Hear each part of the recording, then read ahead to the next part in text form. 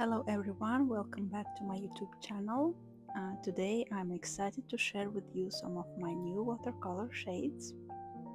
And in this video we will be exploring these three beautiful colors together.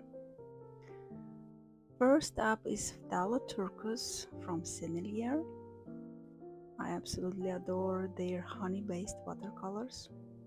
Next, I'll be trying out Shinhan watercolors.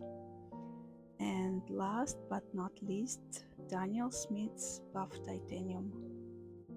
I'll start by swatching these shades and then move on to creating some mixes. Phthalo is a shade I already have in my collection from other brands, but I couldn't resist adding Sennelier's version. It works so well in mixes especially with blues and greens. Next one is Crimson Lake from Shinhan is a new addition for me.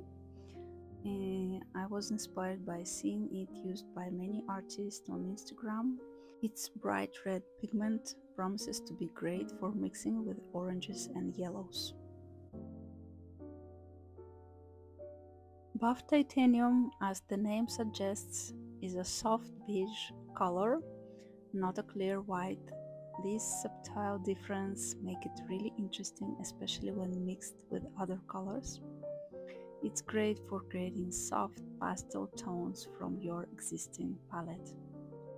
And now I'm going to mix uh, buff titanium with the colors I swatched earlier. The first was uh, Turquoise from Sennelier and the second was Crimson Lake from Shinhan. It's fascinating to see how buff titanium softens these two bright colors, showcasing its versatility.